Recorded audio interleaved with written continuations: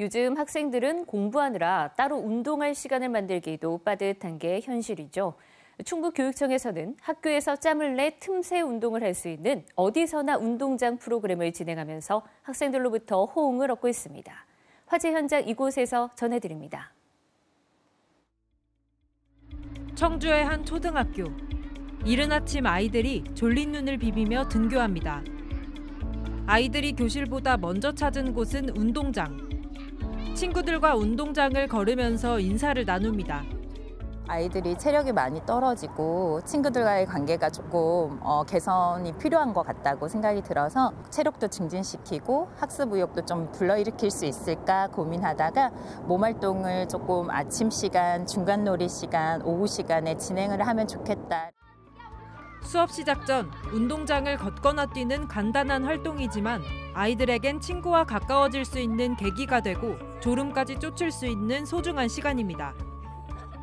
상쾌하고 뭔가 몸이 풀리는 풀리고 뭔가 시원해요. 아침에 잠을 자서 너무 졸린데 아침에 운동을 하니까 좀 잠이 깨서 좋은 것 같아요. 아이들의 운동 시간을 늘리기 위해 충북교육청이 마련한 어디서나 운동장 프로그램입니다. 달리기와 줄넘기를 비롯해 맨손 체조, 비만 관리, 학교 스포츠 클럽 등 비교적 시간과 공간의 구애를 받지 않는 운동을 학교에서 틈틈이 하도록 하고 있습니다. 저학년들은 비석치기와 같은 전래놀이도 하며 운동을 즐기고 있습니다. 예전에 묘지에다가 이렇게 비석을 세워놨는데 어 그것을 보고 어 사람들이 사람들이 아우 저 비석 쳤다 멋지다 하면서 이렇게 돌도 던지기도 하고 얘기도 하고 그랬대요. 어디서나 운동장 프로그램은 학교의 여건과 특수성을 반영해 자율적으로 운영합니다. 이렇다 보니 학년별 맞춤 운동이 가능하고 아이들이 원하는 운동을 찾기도 수월합니다.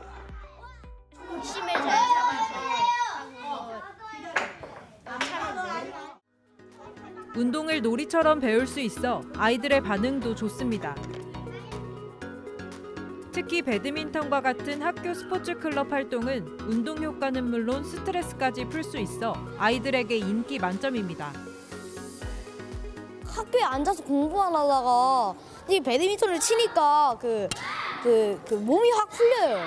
친구랑 배드민턴을 치면 서로 잘 맞다 보면 서로 칭찬해주고 서로 뭔가 우정이 더 쌓아지기도 하고 뭔가 몸을 잘 풀 수 있는 운동이어서 좋아요. 틈새 운동의 습관화는 운동 부족으로 체력이 떨어지고 공부에 방해가 되는 악순환을 미리 방지할 수 있어 교사들 역시 어디서나 운동장 프로그램에 대한 기대가 큽니다.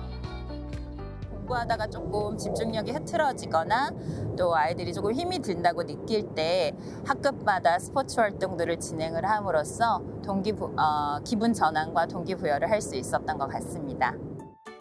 고등학교에선 또 다른 방법으로 틈새 운동을 합니다. 안녕하세요. 사제동행 웰빙 스트레칭 시간입니다. 청주의 한 고등학교에선 2교시가 끝나면 어깨와 팔, 목, 허리 등을 풀어주는 스트레칭을 시작합니다. 교사와 학생이 함께 만든 스트레칭 동영상입니다. 선생님과 학생들이 함께 스트레칭 영상을 찍어서 전 교생에게 송출함으로써 틈새 2교시 쉬는 시간마다 스트레칭을 하는 틈새 스트레칭입니다.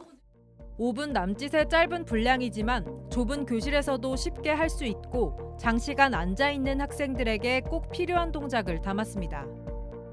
학생들이 아침부터 저녁까지 어, 의자에 앉아 있는 시간이 많다 보니까 어, 근육이나 관절이 굳는 경우가 많아서 이를 풀어주는 스트레칭 동작을 위주로 구성하고 있습니다. 일주일에 다섯 번 이상 5분 동안 꾸준하게 스트레칭을 하다 보니 몸의 컨디션과 피로도가 이전과 사뭇 다릅니다. 학교에 와서 매일 의자에 앉아 있어서 몸의 근육이 뭉치고 피곤해졌는데 스트레칭을 함으로써 몸의 근육도 풀어주고 정신도 맑아집니다. 저도 이제 정신이 맑아지고 아이들과 함께 하면서 웃을 수 있어서 좋습니다. 내 몸을 살피며 꾸준하게 건강을 챙기는 습관은 체력 향상과 긍정적인 관계 형성 등 학교 생활의 활력소로 이어집니다. 학생들과 동작에 대해서 더 논의하고 소통하고 연구해서 더 나은 영상을 제작할 수 있도록 노력하겠습니다. 모든 학교에서 많은 학생들이 시간과 공간의 구애를 받지 않고 언제 어디서나 몸활동에 참여할 수 있는 어디서나 운동장 프로그램. 공부에 지친 학생들이 스트레스를 풀고 건강을 챙길 수 있는 소중한 시간을 늘려가고 있습니다.